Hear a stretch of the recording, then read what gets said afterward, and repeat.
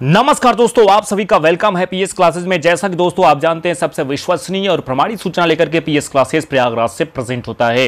दोस्तों, आज की वीडियो में हम बात करने जा रहे हैं। बिग ब्रेकिंग न्यूज़ निकल करके आ रही है।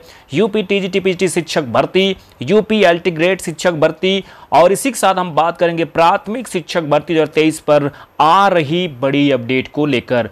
लेकिन दोस्तों, इस वीडियो में आप एंड तक बने रहेगा स्किप मत करिएगा, क्योंकि अगर आप बी एड के स्टूडेंट हैं तो इसमें आपके लिए बहुत ही महत्वपूर्ण सूचना है।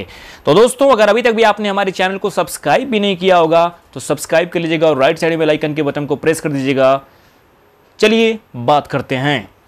दोस्तों, यहाँ पर सबसे पहले हम बात करेंगे कि खाली पदों पर चयन प्रक्रिया शुरू करने की मांग को लेकर मुख्यमंत्री को भेजा पत्र। दोस्तों, आपको बता दें कि शिक्षक भर्ती से इनकार करना वादा खिलाफी युवा मंच। यहीं पर दोस्तों, हम आपको बता दें, प्राथमिक शिक्षक भर्ती की सबसे पहले हम बात करते हैं। विधानसभा में हाल ही में बेसिक शिक्षा मंत्री संदीप सिंह द्वारा प्राथमिक विद्यालयों में शिक्षक भर्ती प्रक्रिया को शुक्रवार शुरू करने संबंधी किसी तरह का प्रस्ताव न होने के लिखित जवाब पर युवाओं में ज़बरदस्त रोष व्याप्त प्राप्त है। दोस्तों, आपको बता दें कि भाजपा ने अपने घोषणा पत्र में कहा था कि सभी रिक्त पदों को भरना सरकार की प्राथमिकता होगी, लेकिन प्राथमिक विद्यालयों सहित अन्य विभागों में छह लाख से ज़्यादा रिक्त पद होने के बावजूद चयन प्रक्रिया अमूमन ठप है।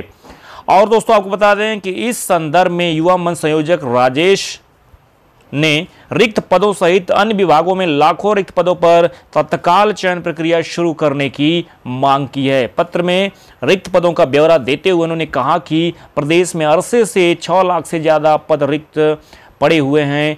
यह है कि वर्ष दो 18 के बाद सरकारी विभागों में कर्मचारियों की संख्या में तेज़ी से कमी आई है और बैकलॉग बढ़ता गया है। जब मुख्यमंत्री योगी आदित्यनाथ की मार्च 2017 में सरकार बनी तब प्राथमिक विद्यालयों में तकरीबन चार लाख नियमित शिक्षक थे, जबकि आज यह संख्या घटकर तीन दशमलव दो तीन दो लाख रह गई है। यही हाल अन्य विभागों का भी है। तो दोस्तों, बता दें कि उन्होंने कहा कि प्रदेश में बेरोजगारी की भयावह स्थिति है, लेकिन सरकार प्रचार के सिवाय कुछ नहीं कर रही है। ग्लोबल इन्वेस्टर्स समिट जैसे आयोजनों का प्रमुख मकसद प्रचार है। पहले भी ऐसे आयोजनों आयोजनों का, योजनाओं का हल देखा जा चुका है। दरअसल बेरोजगारी के सवाल के समाधान के लिए आर्थिक दिशा बदलने की ज़रूरत है। और इसी के साथ दोस्तों हम बात करना चाहते हैं कि यूपी टीजीटी पीजीटी शिक्षक भर्ती पर भी बड़ी अपडेट है दोस्तों। और इसी के साथ यूपी अल्टीग्रेड शिक्षक भर्ती पर भी अपडेट निकल करके आ रही है। जैसा कि आप जानते हैं, नया शिक्षा सेवा चयन आयोग का अस्तित्व आने वाला है। और इसी के साथ दोस्तों आपको बता दें कि 8 अप्रैल को रिटायर होने जा रहे हैं माध्यमिक शिक्षा सेवा चयन बोर्ड के अध्यक्ष। तो रिटायरमेंट के बाद आपको एक बड़ी अपडेट मिल सकती है। आप सभी अपनी तैयारी में लगे रहें।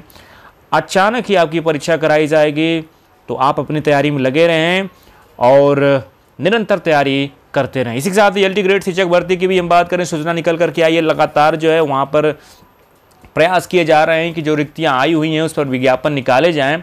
तो दोस्तों, सब मिला करके अब अंतिम घड़ी आने वाली है, इसका भी विज्ञापन निकलेगा। तो आप सभी अपनी तैयारी में लगे रहें। सबसे विश्वसनीय सूचना पाने के लिए पीएस क्लासेस को अभी सब्सक्राइब नहीं किया तो प्लीज़ सब्सक्राइब कर लीजिएगा। राइट साइड में आइकन के बटन को प्रेस कर दीजिएगा, ताकि वीडियो का नोटिफिकेशन सबसे पहले आप तक पहुँच सके। Thanks for watching my video